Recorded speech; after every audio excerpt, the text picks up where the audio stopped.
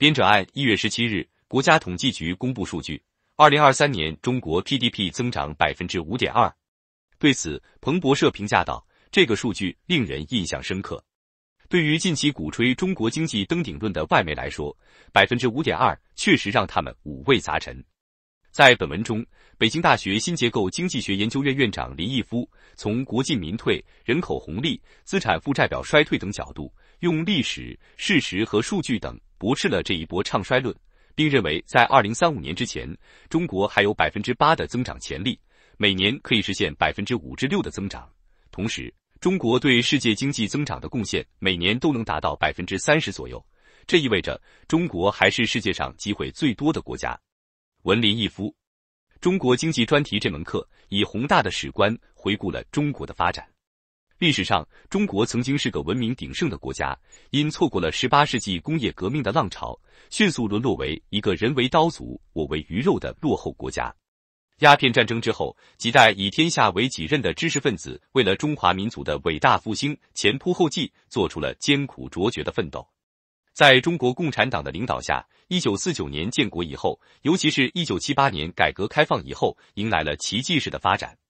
从一九七八年到二零二二年，连续四十四年，中国的年均 GDP 增长率达到百分之九。二零二二年的经济规模为一九七八年的四十四点八倍。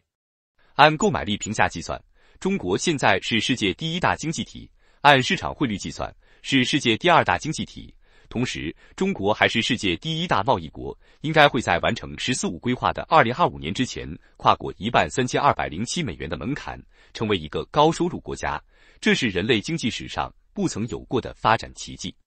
中国现在比历史上任何时期都更接近民族复兴的梦想。虽然改革开放后中国取得的成绩有目共睹，但是中国崩溃论一直此起彼伏。最近，因为自二零一三年以来经济增长节节下滑，而且二零二三年走出新冠肺炎疫情之后，经济的复苏低于预期，中国崩溃论的声音又非常盛行。对中国未来的发展有很多悲观的论调，这种悲观看法不仅仅在国外盛行，国内学者和媒体也有不少附和的声音。我想利用最后这一堂课，对一些盛行的看法进行梳理剖析。外交事务二零二三年十一至十二月刊发布的《中国崩溃论》文章之一：谁杀死了中国经济？外交事务二零二三年十一至十二月刊发布的《中国崩溃论》文章之一：谁杀死了中国经济？中国崩溃论的 N 种说法。一、经济增速下滑是国进民退造成的，其中一个盛行的观点，把中国自二零一三年以来经济增长的持续下滑归因于国进民退。这个观点以产权理论为依据，改革开放初期，国有经济在整个经济中，尤其在制造业中占比将近百分之一百。改革开放后，民营经济发展非常快，在中国制造业中的占比从一开始基本为零，到二零零八年增加到将近百分之七十五。产权理论认为，民营企业效率高，国有企业效率低，因此把改革开放后中国经济之所以快速发展归因于国退民进。但是二零零八年以后，尤其是二零一三年以后，经济增速持续下滑，伴随着国有经济比重的上升以及民营经济比重的下降。因此，持此论者认为，民营经济比重的下滑是中国经济表现不好的主要原因，并且认为民营比重的下滑是中央的政策造成的。因为中央提出要做大做强国有企业，因此他们认为国进民退正是做大做强国有企业的结果。而且在银行贷款当中，民营企业的贷款比重也不断下滑，国有企业贷款的比重则不断上升。使他们更加相信中国经济的持续下滑是政府的政策导向造成的。这是一种比较流行的说法，听起来似乎有道理，从数据指标来看也能得到支持。因此，很多学者就说，要改变现状，只有恢复国退民进，才能扭转经济下滑的局面。这个说法有盛行的经济学理论的支撑，非常有说服力，很多人也就相信了。二，人口红利消失，所以中国经济放缓了。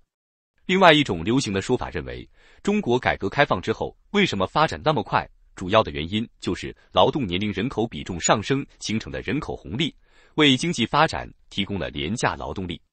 现在人口老龄化与改革开放初期的情形正好相反，人口负增长，而且劳动人口比重在下滑。中国人口红利没了，所以经济增长减速了。日本就是这样，二次世界大战后经济发展很快，到了一九九零年代以后，面临和中国同样的人口严重老龄化问题，因而经济增长放缓了，中国将会步日本的后尘。这种说法听起来好像也很有道理。三、中国陷入资产负债表衰退。最近，日本经济学家辜朝明提出，中国经济为什么表现不好的另一种解释，就是出现了所谓资产负债表衰退。什么叫资产负债表衰退？辜朝明认为，一九八零年代，日本出现房地产泡沫和股市泡沫。房地产泡沫最严重的时候，把日本东京皇宫的土地卖掉，就可以买下整个美国西海岸的加利福尼亚州。如果把日本的房产都卖掉，可以买回八个美国。房地产泡沫时，价格涨得非常快，成为全日本最赚钱的行业。原本做实业的企业赚钱非常辛苦，纷纷转而去投机房地产。许多家庭也同样去从事房地产投机。企业和家庭投机的钱一般来自银行贷款。一九九一年，日本泡沫经济破裂，整个日本的房地产价格跌去一半，东京房地产的价格更是暴跌到原来的百分之二十，导致企业和家庭大量的银行负债。企业赚了钱，优先去还债，而不是去投资，因而投资增长很慢。家庭也是如此，拿了工资，优先考虑去还房贷，因此居民部门除保持基本生活外，消费也不增长。企业的投资不增长，居民的消费不增长，整个经济的增长就停滞了。GDP 的增长率持续三十年就在百分之零至一之间徘徊。顾朝明称，企业和家庭在泡沫破灭后的还债过程为修复资产负债表。并给这种经济低迷起名为资产负债表衰退。中国这些年房地产的价格也非常高，现在房地产价格在下跌，企业和家庭也出现提前还贷的情况。因此，辜朝明认为，中国的投资不振是因为企业要还银行的负债，家庭部门的消费增长比预期慢，也是因为他们要还房贷。这种解释好像很有道理，又有理论分析，又有日本经验。四，中国不可能赶上美国、日本是前车之鉴。上述几种观点都把中国经济不断下滑归因于中国的体制及结构问题，这些因素的叠加就形成了中国未来永远赶不上美国的预期。按照市场汇率计算，中国经济规模到二零三零年左右会超过美国，是我在一九九四年出版的《中国的奇迹》中提出的，当时也是中国崩溃论盛行的时候。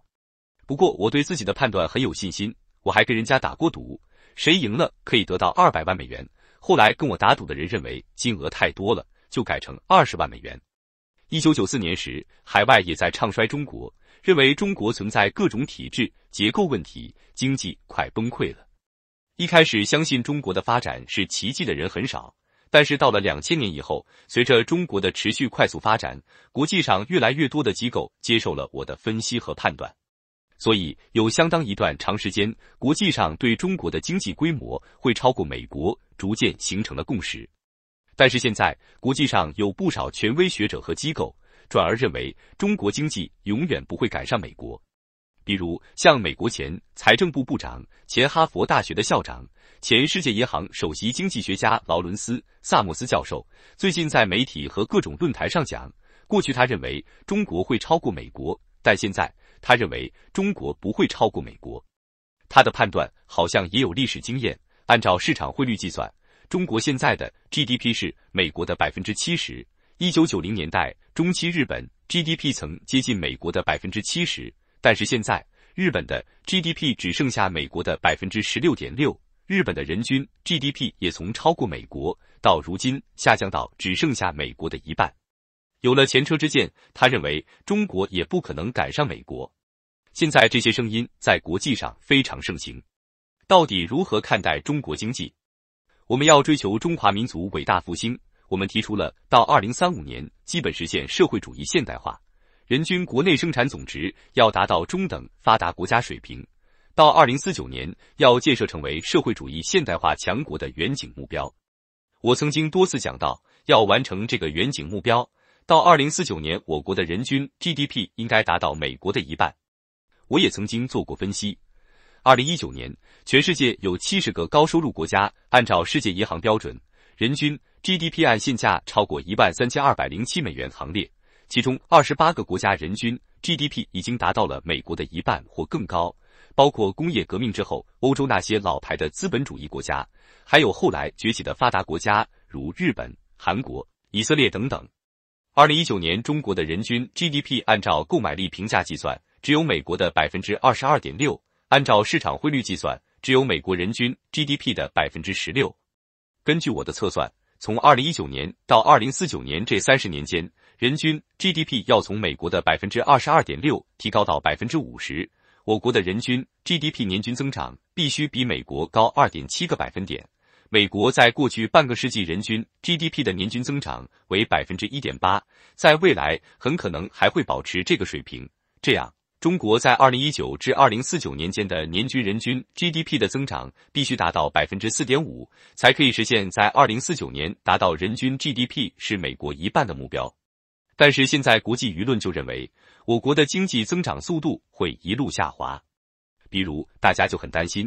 二零二三年的经济增长速度可能会在百分之五左右。一月十七日，国家统计局公布数据。二零二三年中国 GDP 增长五点二百分号，观察者网注，那二零二四年可能就只有百分之四点五，二零二五呢可能会更低。过去中国崩溃论也盛行多次，而且说起来头头是道，但中国一直保持稳定快速增长，因此我们不能因为现在国外那些说法听起来有理有据就相信，必须自己研究这些现象，去了解其背后的原因，驳斥中国崩溃论。一国进民退市，经济增长下滑的结果不是原因。首先来分析第一个现象：整个中国经济中，国有企业的比重上升，民营企业的比重下降；国有企业的贷款比重增加，民营企业贷款比重下降。这跟二零一三年以来中国经济增长率持续下滑是同时存在的，是相关的。但哪个是因，哪个是果？相信产权理论的人认为，中国从二零一三年经济增长速度持续下滑，是因为在产权制度改革上倒退了，是国进民退造成的。中央在十八大确实提出做大做强国有企业的说法，但是中央也提出毫不动摇鼓励支持引导民营企业的发展。如果把现在经济表现不好归结于政策导向造成的，这跟事实不符。其实，中国现在增长最快、在国际上最有竞争力的新三样电动汽车、太阳能电池和锂电池等行业的发展主力，基本都是民营企业。如果按照流行的说法，认为这十年来中国经济搞不好是中国政府做大做强国有企业、打压民营企业造成的，为什么同一时期增长最快、出口表现最好的是以民营企业为主的行业？所以，我们不能听别人一说就相信。我个人的看法。国进民退是经济增速下滑的结果，不是经济增速下滑的原因。为什么是这样？大家知道，二零零八年国际金融危机的爆发，是从雷曼兄弟倒闭触发美国金融市场崩盘后演变成世界性危机的。在二零零八年金融危机发生以后，发达国家一直没有真正复苏。在二零零八年之前，发达国家年均增长速度是百分之三，美国高一点，在百分之三至百分之三点五之间。但是，二零零八年危机之后，即便利用美元是国际通货的优势，采取积极财政政策和量化宽松货币政策的美国，其经济增速也只恢复到百分之二点五左右。欧洲国家更慢，一般就在百分之二；日本更疲软，只有百分之一甚至更低。整个 OECD 国家的经济增长速度也从2008年经济危机之前1960至2008年间的年均百分之三点四，降为危机之后2008至2022年间的百分之一点五。受此影响，整个世界经济增长率从1960至2008年间的年均增长率百分之三点七，降为2008至2022年间的年均百分之二点六。对我国来讲，更为重要的是，发达国家经济增长慢。居民消费增长慢，这种情况带来的直接结果就是发达国家进口增长下滑，从而抑制了国际贸易的增长。在二零零八年之前，世界贸易的增长率是世界经济增长率的两倍以上；而在二零零八年的国际经济危机以后，国际贸易的增长速度比国际经济的增长速度还要低。我国是世界第一大贸易国、第一大出口国，发达国家进口放缓对我国的影响最大。我们可以看到。按美元计算，从一九七八年到二零零八年，中国连续三十年实现年均出口增长百分之十八点一。但是在危机之后的二零零八至二零一二年间的年均出口增长降为百分之九点四，二零一三年到二零二二年则进一步下降为年均增长百分之五点七。出口增长的大幅持续下降，影响最大的就是我国的出口部门。我国的出口部门则是以符合我国比较优势的民营企业为主的部门。外需的疲软导致民营企业经营困难，而且未来前景不明，民营企业也就缺乏投资意愿。由于民营企业对未来增长预期不好，投资意愿低，当然就不会去银行借钱。即使去银行借钱，银行也要评估企业的行业发展状况，市场预期不好的行业，银行也会审慎判断。所以在这种状况之下，民营企业的银行贷款也就减少了。同样的国际国内环境，为什么国有企业会扩张，贷款会增加？短期经济增长的三驾马车中，出口这辆马车跑慢了，另外一辆马车是投资。在民营企业投资意愿低迷的情况下，投资增长也会低。民营企业是就业的主力军，一旦民企发展不好，家庭的收入增长和就业预期也会不好，家庭的消费的增长也会受到抑制。这种情况下，经济当然会下滑。在经济下滑的时候，为了稳定经济、稳定就业，政府负有逆周期投资、实施积极财政政策的责任。二零零八年，政府采取了四万亿积极财政政策刺激计划，投资了大量基础设施项目。高速公路的里程数从二零零八年的六点零三万公里增加到二零一二年九点六二万公里，同期高速铁路从二零零八年的一千零三十五公里增加到二零一二年的九千六百四十三公里。由于出口增速的进一步下滑，我国政府继续推行了积极的财政政策，高速公路到二零二二年增加到十七点七三万公里，高速铁路则达到四点二万公里，占到全世界高速铁路的百分之七十。还有我们的四 G。五 G 通信基站，这些公共基础设施很多都是在经济不好的时候投资的。这些基础设施项目具有很强的外部性，投资回报率不高，民营企业不愿意做或是做不了，只能由国有企业来投资。国有企业投资的钱来自于银行的贷款，所以国有企业在经济中的比重以及国有企业银行贷款的上升，是因为外需不足、经济发展不好，政府启动积极的财政政策的结果。而不是像悲观论者描述的，是因为国进民退，国有经济挤压私营经济，从而导致了经济发展放缓。而且在经济发展不好的时候，如果没有国有企业投资的这些基础设施大项目，民营企业的发展会更难，因为这些基础设施大项目的执行是由国有企业来承担。而建设高速公路、高速铁路需要水泥、钢筋，要铺设五 G 通信网络需要基站设备，这些就给民营企业创造了很多市场需求。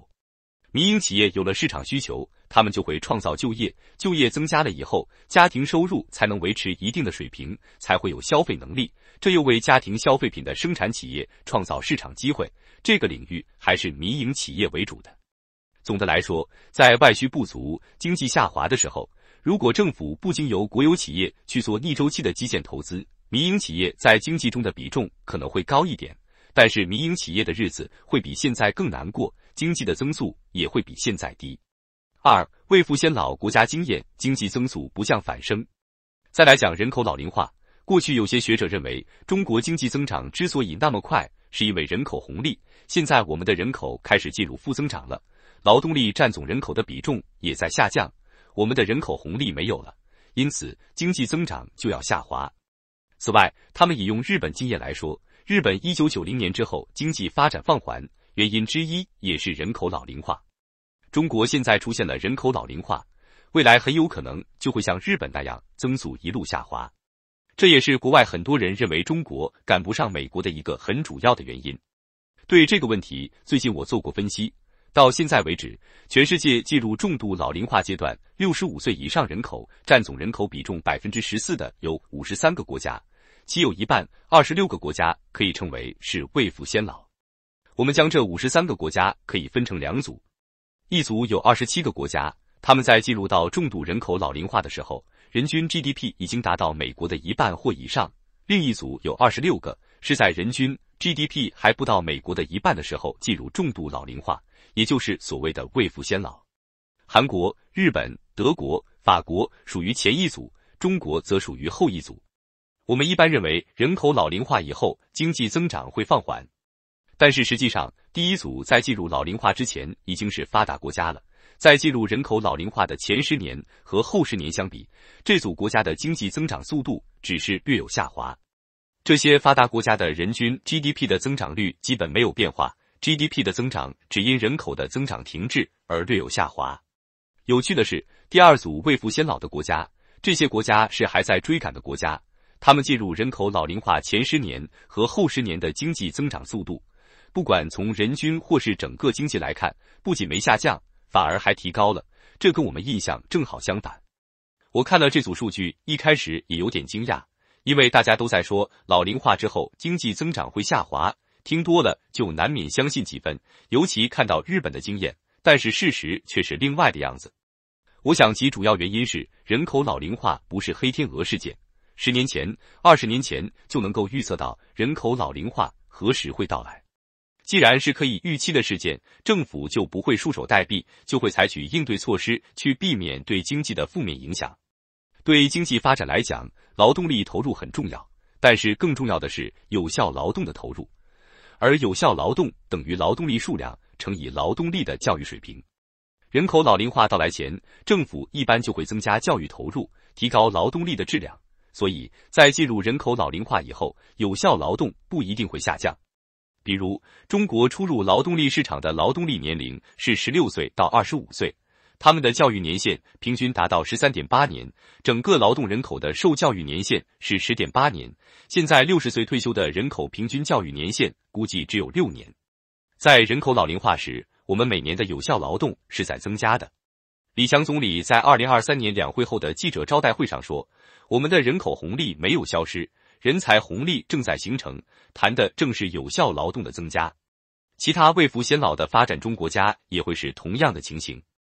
而且，对正在追赶的第二组国家而言，技术创新、产业升级的空间较大。新进入劳动力市场的劳动力教育水平的提高，不仅可以使得有效劳动继续增加，而且教育水平的提高，劳动者掌握新技术的能力更强，这样产业升级和生产力水平的提高就会更快。所以在进入重度人口老龄化的阶段之后，反而能取得更高的增长速度。为什么第一组的高收入国家在人口老龄化之后经济增长率有所下滑？主要原因是，当他们人均 GDP 达到美国百分之五十的时候，已经是高度发达国家了，教育水平高，退休的劳动力和新进入劳动力市场的劳动力的教育水平接近持平，在劳动力数量减少的情况下，难以提高有效劳动。人均 GDP 的增长不变，总体经济的增长就会略有下滑。三、日本经验不适合中国，面对美国的技术封锁，中国不会放弃。那么，如何解释日本一九九零年代以来的经济低迷？经济增长要求平均劳动生产率水平提高，劳动生产率水平的提高需要技术不断创新，产业不断升级。日本在一九九零年代已经发展成为最发达的国家之一。它要继续增长，同样需要技术不断创新，产业不断升级。在一九八零年代末，日本的 GDP 接近美国的百分之六十，但是因为日本人口只有美国的一半，日本的人均 GDP 超过美国了，达到了美国近百分之一百一十。人均 GDP 代表的就是平均劳动生产率水平和平均产业技术水平。所以，日本当时实际上已经是世界上产业技术水平最高的国家之一，至少比美国高。所以，美国才会在一九八五年的时候采取打压日本的策略，就像现在美国对中国开启科技贸易战的情况一样。一九八零年代，为了遏制日本发展，美国国会通过三百零一法案，以日本对美国构成了不公平竞争为由，打压日本的贸易，也打压日本的科技产业。当时，并且到今天为止。世界上最先进的产业还是半导体芯片行业。在一九八零年代，日本的半导体产业领先于美国。日本的日本电器、东芝和日立在世界半导体产业中排名前三位。美国觉得半导体行业太重要了，不能让日本领先，于是就采取现在用来限制华为发展的那些办法，限制日本的半导体企业的发展。美国打压华为的目标非常明确，比如二零二三年九月。美国的商务部部长雷蒙多到中国来之前就曾表态说，只要华为放弃五 G 和芯片研发，美国将取消对其制裁。当时，美国对日本也采取了同样的政策，要求日本企业和美国的企业共享技术。日本接受了，所以日本基本上放弃了半导体产业。现在，日本的半导体产业生产不如台积电和三星，创新不如英特尔、高通等等。不仅如此，日本还接受了新自由主义的观点，放弃了以产业政策来支持新产业的做法。从一九八零年代之后，日本就没有出现过领先于世界的新产业。有人说，汽车产业还处于领先地位，但是日本汽车产业在一九八零年代以前就领先了。任何一个发达国家而言，如果没有不断涌现领先于世界的新技术、新产业、生产力水平和经济增长，就只会在原地踏步。而美国还在不断发展，所以日本的人均 GDP 从最高曾经比美国高百分之五十，到现在只有美国的百分之五十左右。日本经济增长的放缓，确实和人口老龄化是同时产生的，但是同时产生不见得就有因果关系。一个发达国家人口老龄化到来的时候，如果能够提高教育水平，技术上不断创新，产业不断升级，人均 GDP 的增长还可以维持百分之二左右。但是日本只有百分之一的增长，关键原因在于日本技术创新、产业升级停滞了，这才是日本经济增长放慢的原因。日本的情况在中国会发生吗？不会，原因有两点。首先，在新经济的绝大多数领域。我国和发达国家处于同一条起跑线，我国可以利用人才多、国内市场大、产业配套齐全而领跑世界。新能源汽车、太阳能、锂电池等新经济领域就是例子。固然，在有些前沿技术产业领域，我国还落后于发达国家，并确实遭到美国的封锁和打压。但是，大部分高新技术不是美国独家拥有，美国不卖给我们，我们可以从其他发达国家引进。如果其他发达国家受美国压制，也不卖给我们，我国还可以依靠大的国内市场，利用新型举国体制来支持被打压的技术，搞研发和突破。比如华为，美国举全国之力来打压这家公司，华为都没有被打到。其次，我国还有百分之八十五的产业属于传统产业，大部分还处于追赶阶段。这些传统产业基本不影响到美国的霸权，而且这些传统产业美国基本也已经放弃了。我们还可以利用后来者优势，继续引进、消化、吸收。教育水平提高，有效劳动增加，将有利于我们在传统产业领域的追赶。所以，日本的经验并不适用于中国。日本在进入人口老龄化的时候，人均 GDP 已经超过美国，意味着日本的产业已经处于世界的最前沿，技术创新、产业升级已经没有后来者优势，只能靠自己研发新技术、新产业。但是，日本受到美国的打压时，基本上举白旗，放弃了当时日本领先世界的半导体芯片产业的创新和领先。同时，日本也接受了美国新自由主义的思潮。一九八零年代以前，日本是通过产业政策扶持新产业很有名的国家。产业政策这个词就是日本创造出来的。到了一九八零年代，新自由主义思潮兴起，新自由主义的观点认为，政府不应该用产业政策。应该让市场去配置资源，日本就跟着做了，技术创新、产业升级，经济增长也就停滞了。实际上，美国一直在支持其新产业发展，这也是美国技术能够一直保持世界领先的原因。美国作为发达国家，新产业要发展，新技术要涌现，必须自己做研发。企业对新产品研发有很高的积极性，因为这些新产品、新技术可以申请专利。但企业对基础科研是不感兴趣的，因为基础科研的成果是一篇论文，会变成公共知识，赚不了钱。但是没有基础科研的突破，新产品、新技术的开发就会变成无源之水。这种情况下，发达国家的政府就必须投资基础科研。政府能支持基础科研的钱是有限的，必须做出选择，有针对性的去支持那些对本国技术创新、产业升级最有帮助的领域的基础科研。这就是产业政策。二零一一年，一位在英国伦敦大学学院工作的意大利籍著名女经济学家马斯克特 （Mariana Mazzucato） 出版了一本《企业家型国家：The Entrepreneurial State》的专著，研究了包括像微软、谷歌、英特尔等这些国际上领先的美国前沿行业的先行企业。他的研究发现，美国这些企业的先期研发和基础科研基本都是美国政府支持出来的。所以他称美国政府为企业家型政府，就是善于发现新的机会，并且能够动员资源、配置资源，帮助企业家抓住机会。美国政府扮演的正是这样的角色。发达国家都是这么做，但是当时日本太天真了，接受了美国新自主主义的理念，就认为政府要推行普惠性的政策，不应该实施针对某个特定产业的政策。我在与国内学者的产业政策辩论中讲过，就像企业创新一样。确实，绝大多数支持新产业发展的政策是失败的，但是没有一个发展中国家不用产业政策能够追赶上发达国家，也没有一个发达国家不用产业政策能够继续维持技术领先的。中国这些年能在新科技领域有所突破，而且达到全球领先，离不开中国政府的产业政策。一直以来，美国要求别的国家不要使用产业政策。但自己一直在支持和实施具有产业政策性质的科技政策，同时还以国家安全的名义动用国家的力量打压和美国企业竞争的其他国家的企业。上世纪八十年代以后，日本在美国的压力下放弃了当时领先世界的半导体芯片产业，同时放弃了以产业政策支持新技术、新产业的努力。这才导致一九九零年代以后，日本不再涌现有新的引领世界的新技术、新产业，生产力水平不能持续提高，经济长期陷入衰退。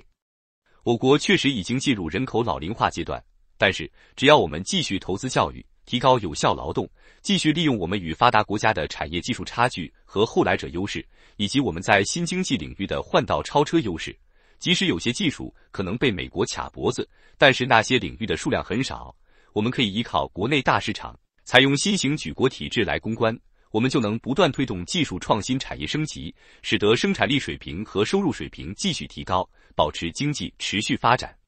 人口老龄化不应该，也不会让我们像日本那样陷入经济不断放缓的局面，甚至不会让我们的经济增长率水平下滑。四、资产负债表理论不能解释中国。接下来，我们来讨论资产负债表衰退的问题。日本泡沫经济破灭以后，企业和家庭确实存在所谓修补资产负债表的情况。企业要还债，投资增长慢；家庭要还债，消费增长慢，因此整个经济增长放缓了。这个解释对日本倒是合适，但不适用于中国。我们的房地产只是价格不涨了，下跌并不明显，或是只下跌了一点，不像日本，房地产价格短时间内大幅下滑。东京房价跌到剩下百分之二十，中国还没有到这个程度。而且，中国投资房地产的企业从数量上不少，因为我们国家人口多，企业数量多，但从比例上看，搞房地产投机的企业相对是比较少的。更重要的是，企业投资与否是看负债的水平，还是增长的机遇？是负债高不投资，还是发展机遇少不投资？显然是投资机会少而不投资，而不是负债高不投资。资产负债表衰退理论的一个暗含前提是企业缺乏好的投资机会。日本为什么没有投资机会？因为就像前面讲的，自一九八五年签订广场协议之后，日本不仅接受美国的条件，放弃了先进的半导体芯片产业的发展，而且接受了美国倡导的新自由主义，不再采用产业政策支持新产业、新技术涌现。市场上没有了获利高的新技术、新产业，企业投资意愿必然降低。所以，泡沫经济破灭后，是因为没有新技术创新、产业升级所带来的投资机会，日本企业才不投资；同时，没有新技术、新产业带来的生产力水平的提高，工人工资也不增长，消费增长当然也就疲软，最终导致了经济的衰退。中国的情况则不一样，我们还有很多投资的机会。我前面讲过，一方面，在一些传统领域，我们还存在追赶的机会。另一方面，在以人工智能、大数据为特征的新经济赛道，我们和发达国家站在同一条起跑线上，而且跟发达国家相比，我国有三大优势，这些优势都有利于新技术取得突破和快速发展。第一，人力资本优势，新经济领域的投资主要是以人力资本为主的，而中国拥有人力资本的巨大优势。我们作为一个人口大国，天才多，教育水平跟发达国家已经没有太大差距。可以更快的推动科技创新和突破。第二，巨大的国内市场优势，按购买力评价计算，中国是全世界最大的市场。因此，新技术、新产品研发出来之后，马上就可以投入国内市场，很容易形成规模经济效应。像美国应用商店下载量最大的五个应用软件中，有四个是中国企业，包括拼多多、剪映、抖音、善等。他们在海外市场的成功，正是源自于中国国内市场多年来的打磨和经验积累。第三，全世界最齐全的产业配套，最好的例子是特斯拉。特斯拉电动汽车在美国发展了十几年，年产量最高时不过三万辆。二零一九年，特斯拉上海工厂建成之后，第二年就交付了四十八万辆。本来特斯拉电动车公司都快破产了，由于中国最好的硬件配套，让特斯拉快速发展，马斯克也变成了世界首富。上述例子可以看出，传统产业我们还有好多投资机会。与此同时，新技术、新产业仍在不断涌现。面对这样的市场状况，即使企业负债比较高，他们也敢借钱去投资，不像当年的日本企业没有投资的机会，只能还钱不敢借钱。家庭也是这样，因为生产力水平在不断提高，就业在增加，家庭的收入预期就会好，或者不会太差，居民的工资还在上涨，大家就敢去消费，就不会为了还贷不敢增加消费。在房地产泡沫破灭后出现资产负债表衰退的前提。一方面是企业和家庭负债高，另一方面是企业没有新的投资的机会，这是日本出现资产负债表衰退的根本原因。中国不会出现这种情况，中国还是世界上机会最多的国家。在这门课上，我曾经讲过对未来的预期，从现在到二零三五年之前，中国应该还有百分之八的增长潜力。即使在百年未有之大变局之下。我们要面对与美国的大国竞争，还要应对全球变暖等等问题。但我认为，在二零三五年之前，我们还有百分之八的增长潜力，每年可以实现百分之五至六的增长。从二零三六年到二零五零年，我们应该还有百分之六的增长潜力，最终实现百分之三至四的增长。这样到二零四九年，我们的人均 GDP 就可以达到美国的一半。我们就可以建成社会主义现代化强国，实现中华民族伟大复兴。在这个过程当中，中国还是全世界市场扩张最快的国家，因为我们现在的经济规模已经占到世界的百分之十八点五了。如果可以实现我前面的增长预期，我们每年对世界的经济增长贡献还能达到百分之三十左右。这意味着，全世界每年的经济增长百分之三十左右，还是会来自于中国。即使大家看到今年经济很困难，但应该想到其他国家比我们更困难。根据 IMF 的预测，美国二零二三年的经济增长率只有百分之二点一，欧洲、日本都比美国更困难。固然跟过去相比，我们增长慢多了，但在全世界，我们还是增长贡献最大的国家，市场扩张最快的国家。所以，如果你们是做企业的，中国还是世界上机会最多的国家。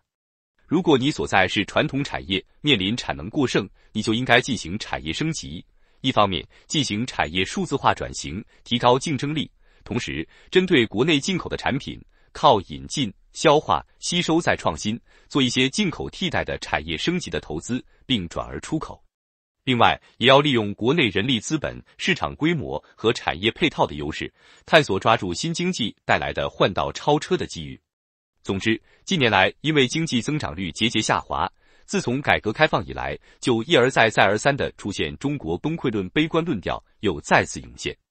为什么很多人会相信这种论调？我认为主要原因是中国在转型过程中采取的是渐进双轨制的改革，没有采用发达国家主张的休克疗法。所以，从主流理论来看，我国存在许多体制机制问题。因此，只要看到中国经济增长放缓，他们就会用发达国家理论来分析，认为中国经济发展不可持续。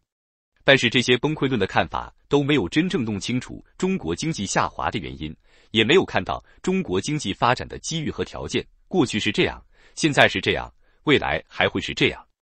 我相信，在前进的道路上，中国还会面临不少问题，也会有不少年份经济增长低于预期。到时候，中国崩溃论还会再一次盛行。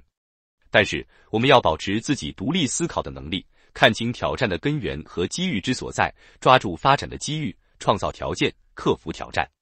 当然，随着经济的发展，新的挑战又会出现，但也必然会有新的机遇出现。这门课给大家分析的道理一以贯之，希望大家对中国的前景保持信心。因为我相信中国还是机会最多的国家，抓住这个机遇，诸位当中就会出现许多引领世界各个领域的时代人物。到你们四五十岁年富力强的时候，就可以见证中华民族伟大复兴的实现。